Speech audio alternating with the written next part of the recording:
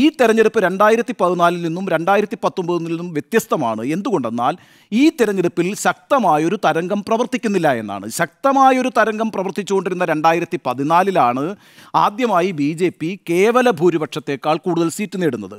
രണ്ടായിരത്തി പത്തൊമ്പതിൽ അതിശക്തമായ പുൽവാമ ബാലാക്കോട്ട് തരംഗം പ്രവർത്തിച്ചിരുന്ന ഘട്ടത്തിലാണ് മുന്നൂറ്റി മൂന്ന് എന്ന അത്ഭുതകരമായ നേട്ടം ബി ജെ പി നേടിയത്.